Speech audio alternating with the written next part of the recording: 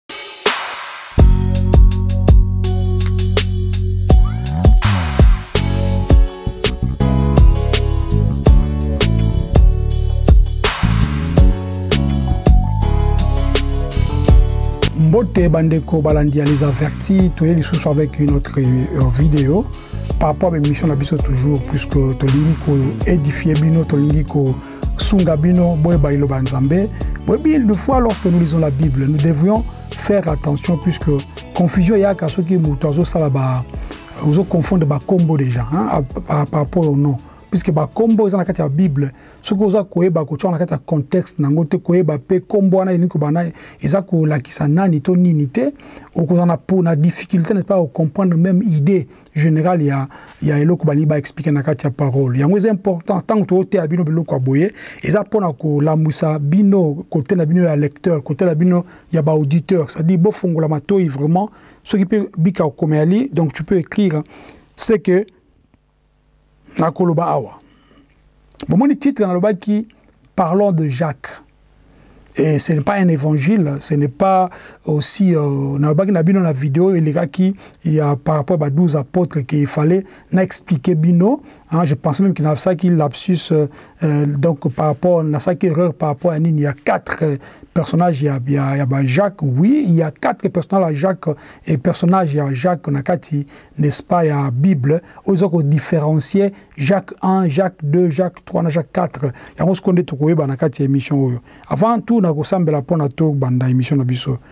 Kolo to pambolio pour na tanyo soko passé na biso to sengi yo osunga biso na molimo na yo papa sunga mutu azwa liboso aza kolandanga na tango oyo papa tikete yo ofongola matoi na ya molimo ofungola miso na ya molimo mpo ayeba yo mpo alanda yo mpo acomprendre surtout makomi na yo papa tozwa koyana na makambo oyo epa na yo ndenge yo opesi biso yango afin ke tokabola oyo opesi biso na baninga puisque c'est de là que tokosala badisciple lisusu koleka un disciple accompli sera comme son maître yango biso tolingi tozala lokola yo yeshua yo olobaki na biso ntango yo kozonga est ce que okuta kondima na kati na biso or oh, kondima eutaka na eloba eloba euta epa na yo tosengi na yo papa yo moko otondisa kondima na kati ya mitema na biso afin que tout ce qu'ils sont en train de, de, de, de, de défendre et de parler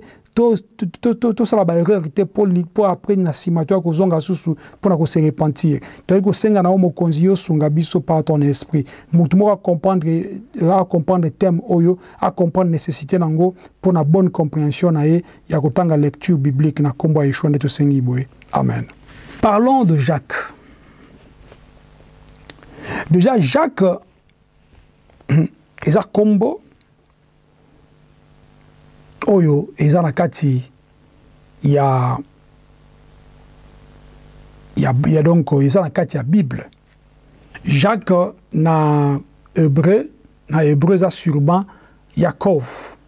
avec y a a c o v yakov pourquoi est ce que c'est important tolobela jacques tozolobela jacques puisque ezalaki promesse na prometaki biso bao balandaki video oyo sur 12 apôtres baocomprendre que je parlais de ça nabaki ke tokolobela yango mpo na kolongola ba confusion na mitu ya bato puisque ya quatre sortes be quatre, quatre personnage oyo bakombo nango eza bajacques na kati ya biblia c'est ainsi que tolingi tokenda moko moko soki moye kozala bonote ekosunga bino mpe ntango ozotanga sikoyo comprendre ah oui place oyo jacques oyo eza jacques oyo tu vois ocomprendre yango dabo tobana na, na jacques L'apôtre Jacques oyo azalaki ndeko ya apôtre Jean,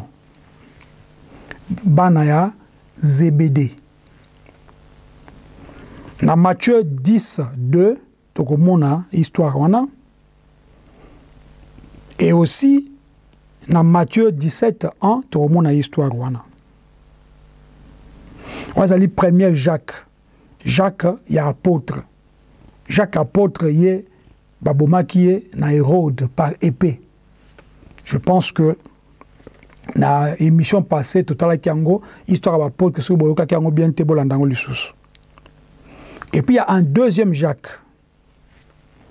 jacques oyo alaki fils ya alphe azalaki mpe l'un ya baapôtre bazo benga ye pona ko différencier na premier Jacques baza ko benga ye Jacques mineur Jacques le mineur Yakov le mineur azalaki fils d'Alphée Jacques aliboso azalaki fils de Zébédée Jacques amibala azalaki fils d'Alphée mpo bocomprendre ye bia bota na Matthieu 10 3 ou bien na Marc 15 40 après toza so na jacques mosusu oyo aza bato balobelake mingi te mais jacques ali jacques fils de yoseph fils de joseph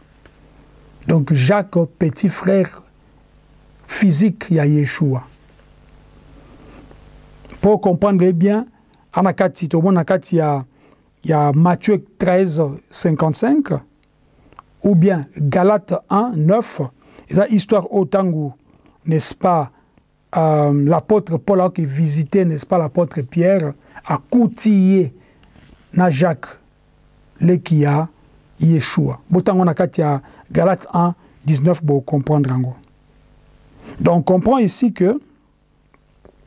troisième jacques tolobi ali jacques oyo n'est-ce pas ya leki ya yeshua na jean 5 na jean 7 5 kuna bazo expliquer ndenge akomaki mpe kosillonne n'est-ce pas milieu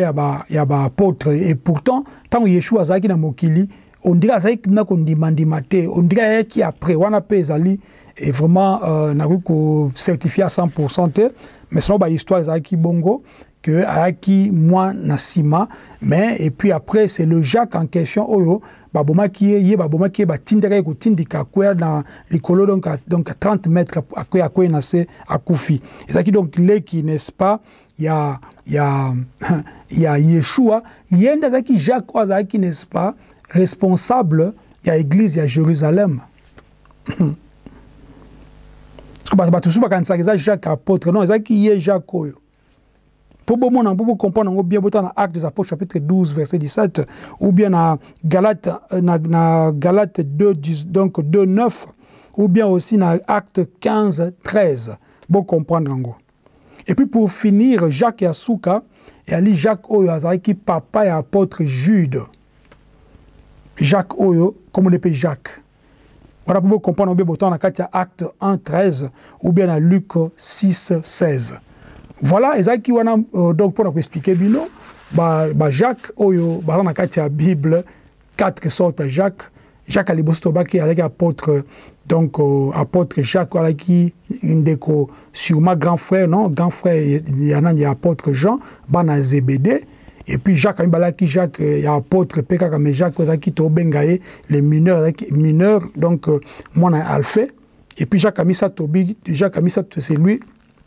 ye moto azalaki responsable ya église ya jérusalem alaki n'est-ce pas donc euh, leki ya yeshua na kati ya mosuni boye de sang et puis jacques ya quatrième jacques ou dernier jacques ezalaki jacques oyo oh, n'est-ce pas donc alaki papa ya jude apôtre jude je pense que ezalaki claire soki baquestion ya libotuna kola pambola bino tokutani mbala nsima na nkombo ya yeshua shalom